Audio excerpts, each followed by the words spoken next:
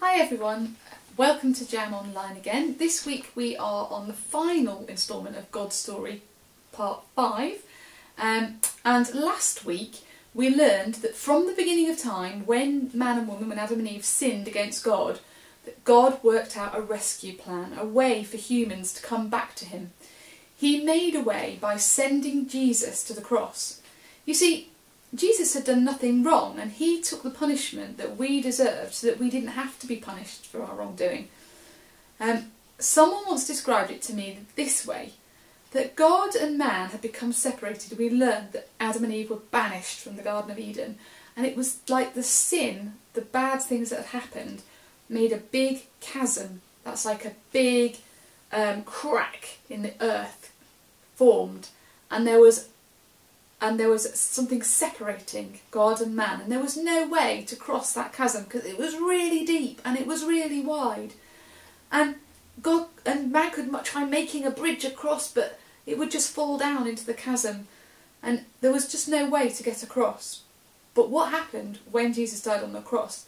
That it was like God put Jesus there, and He put the cross right down. So the the tall part of the cross went right down into the chasm and the crossbar made a bridge that meant that man could now get back to God. But it was a choice still. The man had to choose to go across the bridge to be back with God.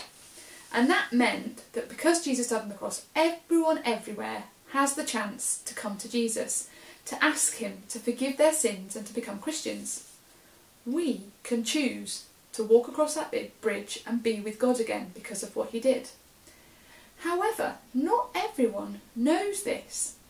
There are many people who would probably love to become Christians, but they don't know about Jesus and what he did for them. There are people in faraway countries who don't know. There are people here in this country who don't know. There are old people who don't know, and young people who don't know. Rich people who know nothing about him, and poor people. And some of them may never have even heard about him. And that's why we, as Christians, are told we must tell other people. So, if we think in that story last week about Woody, what happened to, to Woody in the end of the movie? How did he get rescued? Well, in Toy Story 2, the other toys made a plan. Buzz came with Rex and, and Mr. Potato Head, and they all came and they rescued Woody. Um, but after that, while Woody was in um, Al's toy barn, Woody had met some other toys. Woody had met Pete, the old prospector, Bullseye, the horse, and Jessie, the cowgirl. And Woody didn't just want to go home to be with Andy and think, that's nice, I've been rescued now, I'm safe. He thought about the other toys, and he thought about Jessie, and he thought, I want to rescue her too.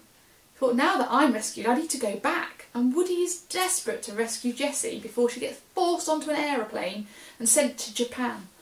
And he fights really hard to rescue Jessie because you see, he's been rescued and he knows what it's like to be rescued, how good it feels, and he now wants to rescue others. And that's what it's like for us as Christians.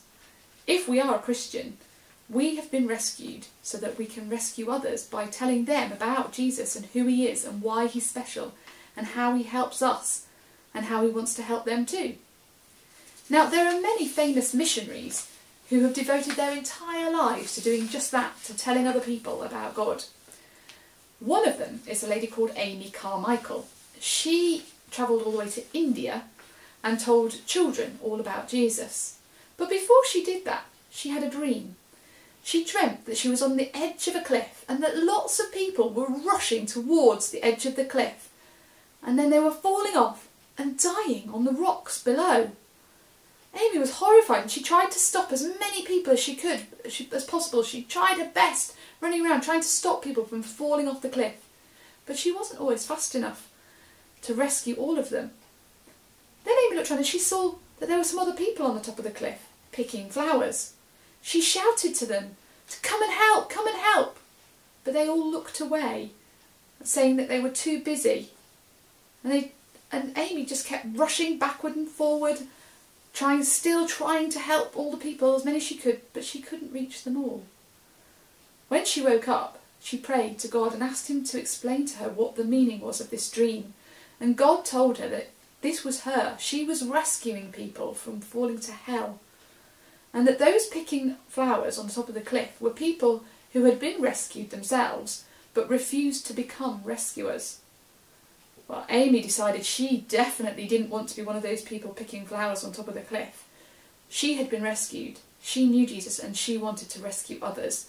And that was what made her make that choice to give her life to go to India to tell other people. Now, what does that mean for us? What about us? If we're asked to tell other people about Jesus, can we sometimes be like the people picking flowers? Can we think we're too busy to do that? I think, I said, no, I certainly can sometimes. But some of you might be thinking, it's not that I'm too busy, but you might be wondering, how? How can I rescue other people? How can I tell someone about Jesus? Well, I've got another story for you. I used to be a lifeguard and I know all about what it takes to rescue somebody from the water when they're in trouble. And I can tell you that the best thing to do, especially if it's in deep water out of the sea, is to get them into a lifeboat. And it can be really tricky to get somebody into a lifeboat. It's hard work because their clothes and they get full of water and they're really heavy and it's not an easy thing to lift them into the boat. But it's even harder if you're in the water with them yourself. And what you actually need to do is you need to you need to get them positioned, held onto the side of the lifeboat and hold their hands there. You need to climb into the boat yourself first because from the boat, from that higher position, it's much easier to drag them in.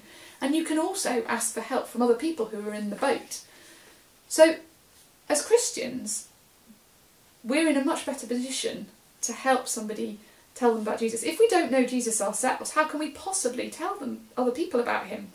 So the first job is that if we're not a Christian, we need to become a Christian ourselves. And if that's you, you can get in contact with me or one of the other jam leaders and we would love to talk to you a bit more about how you do that.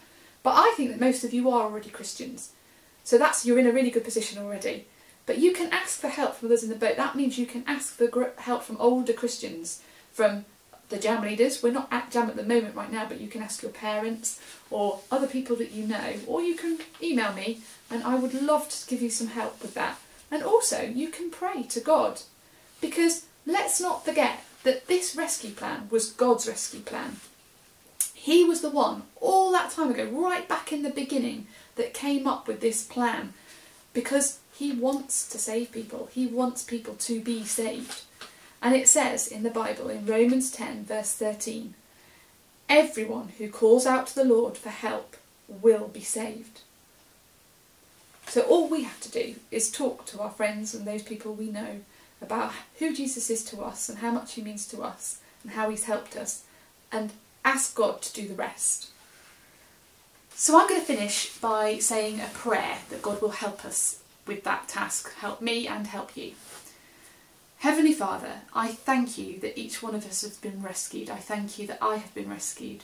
And I thank you that you've rescued my friends at Jam, Lord, and that you are willing to rescue those who haven't been rescued already. Lord, help us to play our part in becoming rescuers by telling other people about Jesus. Amen.